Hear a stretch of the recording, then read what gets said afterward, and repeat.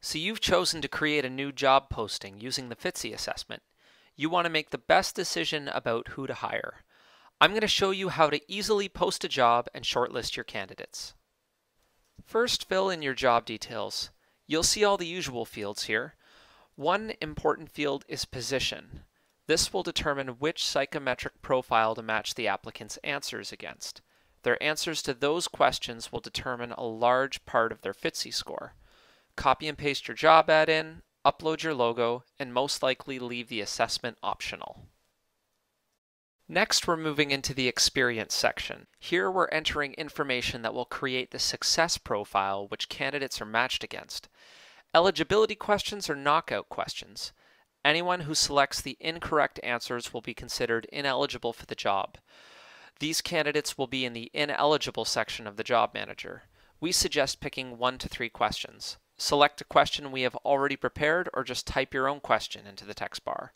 Select the answer you require and add it to your list. Move on to skills and experience and education. These directly affect how the candidate scores. The skills and experience questions are the minimum level your ideal candidate would have. We recommend choosing between 3 to 8. You add these questions the same way, but you can also select the minimum number of years and how important this skill is to the job. For education and qualifications, add any requirements you might have and how important they are to the job. The environment section will represent a small portion of a candidate's final Fitzii score. Move each slider to match what your working environment is like. When a candidate applies for your job, they will also fill out this screen and their preferences will be compared to your working environment. To help spread the word about your new job, you can use the free boards, and you can also add some premium job boards to increase your chances of getting more great candidates.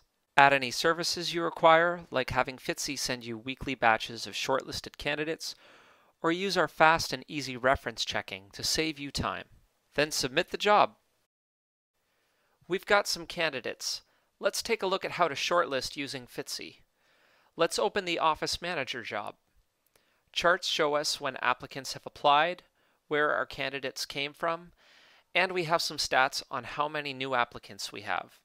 Let's take a look at someone in more detail. The top part of the profile has basic information, documents, contact information, social media links, we ask each candidate for an impact statement and also show their most recent employment and education. We also mark each candidate on how well they did on the assessment. When we want to see the details, we scroll down. The Can Do the Job section comes from the skills and experience questions we set up. Every candidate who says they are very good or excellent has the opportunity to give an explanation. Any candidate who is lower than the standard set is marked with a red square. Will do the job is the psychometric profile, which is a benchmark against the job position. The gray area is where the successful candidates typically score. The line is where the candidate scored based on the questions they filled out. In Thrive on the Job, the gray area is where we moved our sliders in the environment section to match our company culture. The black or red line is where the candidate moved the slider to to fit their ideal work culture. The overall Fitzii score is weighted heavily from the can do the job and will do the job sections, and just a little bit from thrive on the job. Before we decide to shortlist, we can get even more information by looking at the interview guide. If we scroll down, we have a candidate summary of Carla's Fitzii score, her most recent employer and education, and her impact statement. Next, we have a summary of the Can Do the Job section with some recommendations on how to follow up and learn more. In the Will Do the Job and Thrive on the Job sections, each scale of the assessment is broken down to talk more about how Carla fits with the job and where she might find challenges. Further questions are suggested to follow up and find out more. Based on all this information, you could decide to check decline, maybe, or shortlist. Click next and go through the same thing with the next highest scoring candidate. So we've finished shortlisting.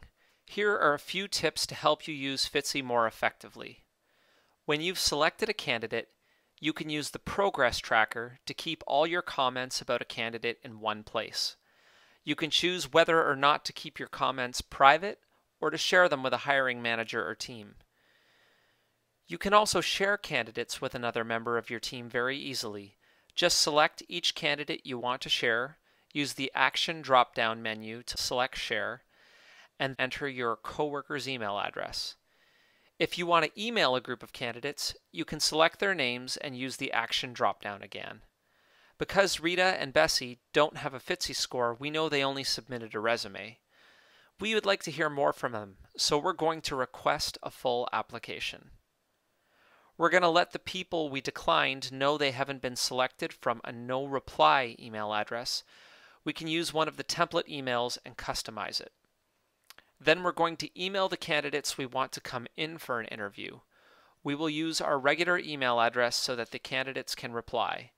In this template, we'll type in our available interview times. That's all for now. If you want step-by-step written instructions or more detailed videos, take a look at the content below.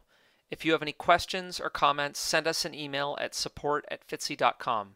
We'd love to help you out.